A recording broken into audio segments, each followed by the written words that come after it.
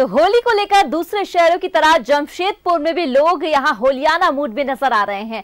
जमशेदपुर के senior SP के आवास पर भी डीसी पुलिस पदाधिकारियों के साथ उनके परिवार के लोगों ने जमकर होली खेली है। एक दूसरे को गुलाल लगाया और होली की शुभकामनाएँ दी है।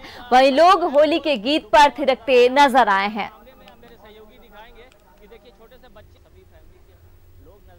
होली को लेकर पूरा शहर रंगों में डूबा हुआ नज़र आ रहा है। वहीं एसएसपी कार्यालय में भी ये होली की रंग देखा जा सकता है। किस तरीके से जो फगुआ में जो जो झाल मंजीरा बजाए जाते हैं, वो बज रहा है। देखिए, आपको सामने दिखाते हैं किस तरीके से।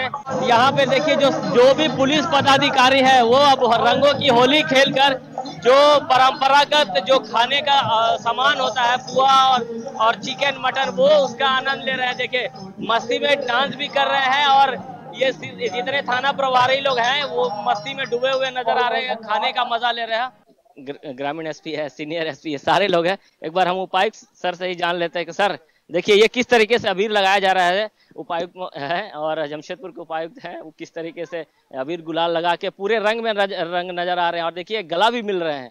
तो एक तरह से कहें सर होली का रंग है किस तरीके से आप लोग इंजॉय कर रहे हैं? ये रंगों का त्योहार है और जिला वासियों को सभी को मैं शुभकामनाएँ देता हूँ। और हमारी कामना रहेगी कि सभी की जिंदगियों में इसी तरीके से रंग बना रहे। बिल्कुल देखिए जिस तरीके से यहाँ पे ये देखिए ये कलर लगाया जा रहा है ये सीनियर एसपी है उनके जो सहयोगी हैं पुलिसकर्मी हैं वो एक तरह से कहें तो अबीर गुलाल रंग जो है वो लगा रहे हैं तो एक तरह से कहें तो पूरी रंग में नज़र आ रहे हैं। और यहाँ सामने देखिए ये ग्रामीण एसपी हैं ग्रामीण एसपी पहचान नहीं आएँगे किस तरीके से इनके पूरे चेहरे ये देखिए उपायुक्त महोदय को देखिए सीनियर एसपी पूरे अबीर से लगा रहे हैं। और चाहेंगे कि सभी लोग हर्ष उल्लास के साथ ये त्यौहार बनाए और किसी की भी भावनाओं को ठेस न पहुँचाए। शुक्रिया। तो देखिए मेरे सहयोग को उधर भी दिखाएँ उस तरह के ग्रामीण एसपी से भी बात करें ग्रामीण क्षेत्र का जिम्मेवारी इनके ऊपर में है और किस तरीके से मॉनिटरिंग कर रहे हैं होली का दिन है। आ, आ, सर किस तरीके से ग्रामीण क्षेत्र में भी क्योंकि आप उस तरह देखते हैं तो किस तरीके से देख रहे हैं? सर्वप्रथम सभी को हमारी तरफ़ से जमशेदपुर वासियों को होली की बहुत बहुत शुभकामनाएँ। ग्रामीण क्षेत्रों में हम लोगों ने जो भी हम लोग के सेंसिटिव एरियाज़ हैं वहाँ पे एक्स्ट्रा फोर्स को भेजा हुआ है।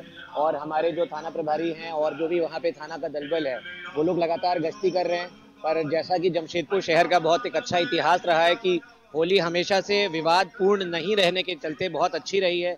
कभी कोई विवाद नहीं रहा है होली में तो आशा करते हैं इस बार भी होली उसी प्रकार से सबकी खुशियों के साथ मनेगी, जैसे कि हर बार यहाँ की परंपरा है। लोग शरीक भी होते हैं, लेकिन साथ ही साथ पुलिस और प्रशासन की जिम्मेवारी इस बात को लेकर के भी है कि शांति व्यवस्था, अमन, चैन कायम रहे।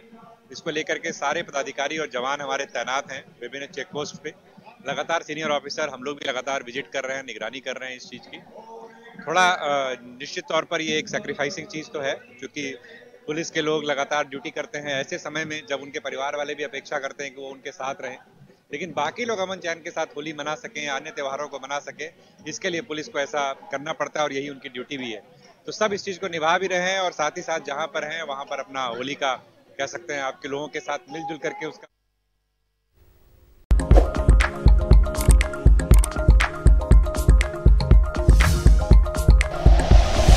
like and share videos, subscribe करें हमारा चैनल और प्रेस करें बेल आइकॉन न्यूज़ 11 भारत सच है तो दिखेगा।